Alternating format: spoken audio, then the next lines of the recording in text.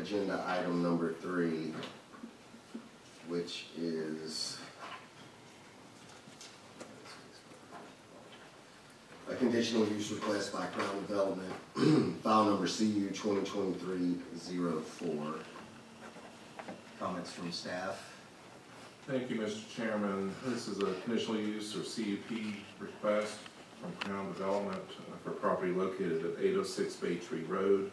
It is a conditional use request for a car wash or a full-service car wash facility in both the CC zoning district as well as the Baytree University Corridor Overlay District. Um, car washes require CUP in both, so we have advertised and processed them together under one application.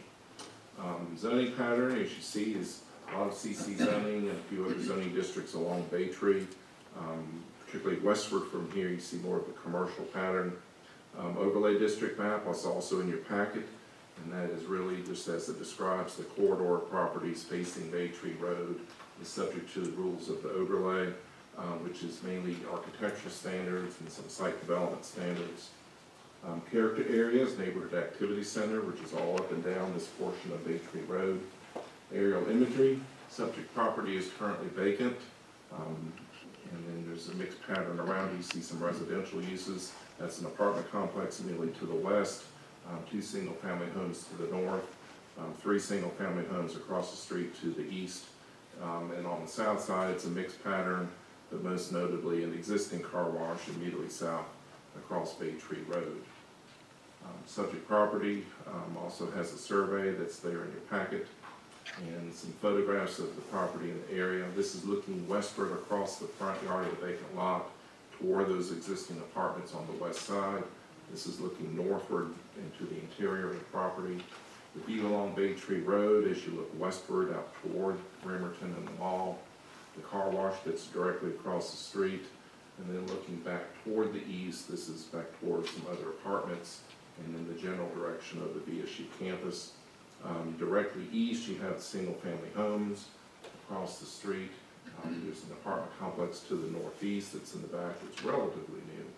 And then the view looking up Miramar Street, and then the single-family homes immediately north of the property. Also in your packet is a conceptual site plan showing the drive-through car wash facility. I think that's seventeen vacuum bays. Um, there in the middle of the property, one by traffic flow with the kiosk on the north end and the exiting out on the south end.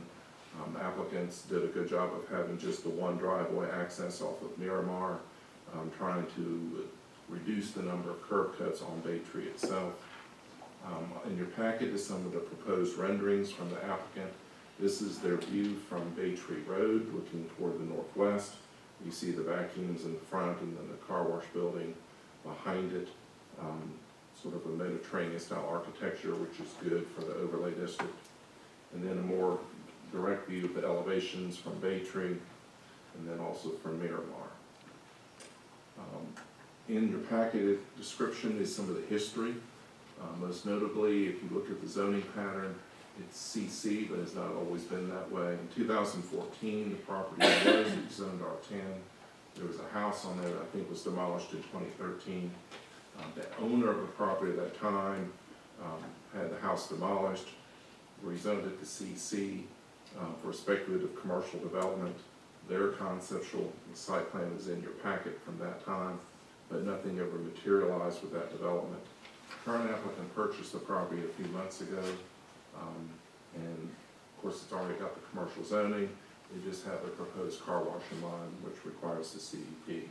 Staff's main concerns with the request is car washes, um, at least the full-service kind, are a little further up the food chain in the realm of commercial uses, which is why it's a conditional use in CC.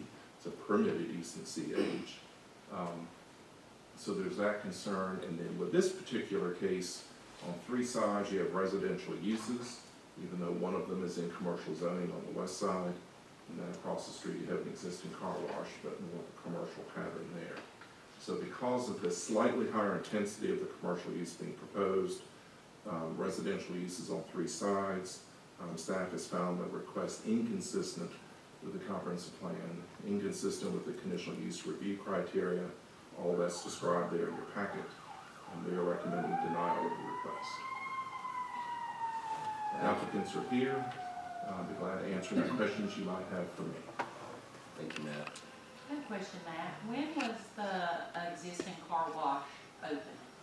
That was a zoning case, I want to say about the year two thousand one, and that's going by memory.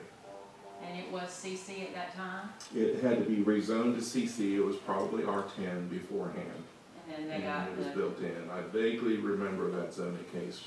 and there then they was got some- CUP from there. Okay. Well, no, there was no CUP required then, that predates the overlay district, Oh, I got you. so by a number of years, um, about nine years. Um, so it's been there twenty plus years. Okay. Any further questions? All right, with that, we will start the public hearing portion of the case. Is there anyone that would like to speak in favor of this project? Please step forward and state your name and address. My name is Stephen Chicola, I'm at twelve-ten Clover Hill Road, here in Valdosta, Georgia. Uh, I am speaking on behalf of Crown Real Estate Development as part of the group that will be, um, initially developing this car wash, this proposed site. Uh, to kind of reiterate what we're actually proposing, it is, it is quite different than the car wash that is across the street that was originally, um, rezoned back in the day. Um, we are not a mobile car wash, we are an express exterior car wash. Uh, so our average car wash time is roughly anywhere from two to six minutes, typically about four. Um, so our goal is to get our customer base in and out, um, on a quick, um, you know, quick basis. Uh, this will be a high-tech, modern, you know, new age car wash. Um, you know, we're not gonna bear any expense when it comes to the, um, the inside equipment. Uh, I know there has been some issues in terms of, uh, the noise issues for the res, surrounding residential, uh, areas, and we have taken that in consideration into our, uh, conceptual plans, obviously providing the proper landscape buffer, um, with, you know, the ten by six, um, you know, opaque fence, as well as some, some evergreens or whatever that may be to help, um, continue that buffer.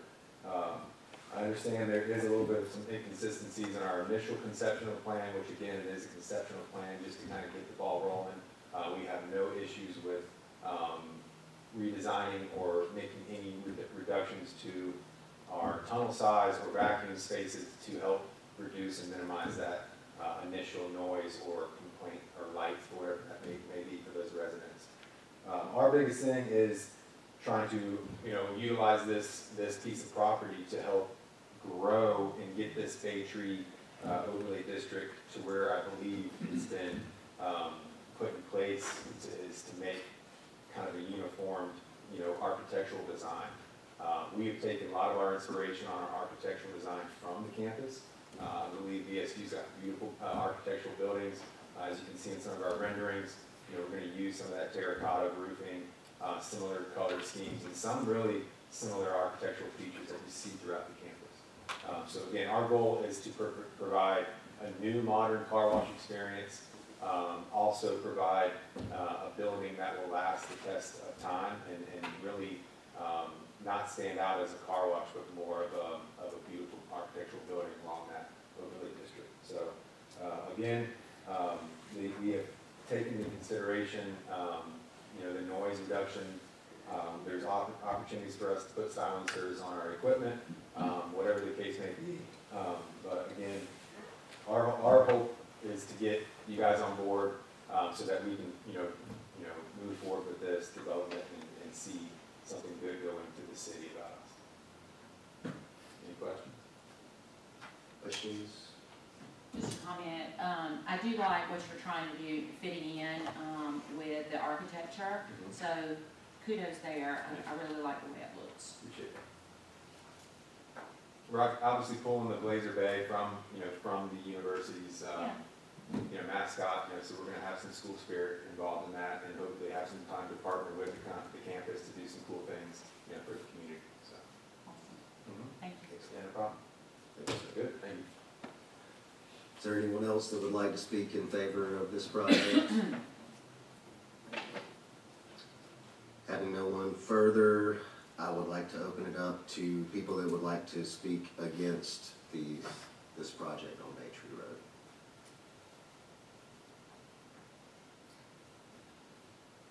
Having none, we'll move on to our next phase. Discussion. Yes. So I, I have to say that, um, I know staff is recommending denial, but honestly, this is where Bay Tree is going, it's going more commercial. And I think that it fits in nicely with the architecture.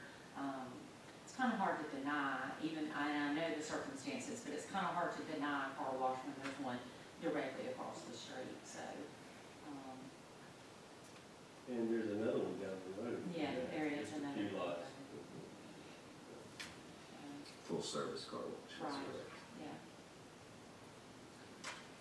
Yeah. Any other comments? All right, well, I will entertain a motion.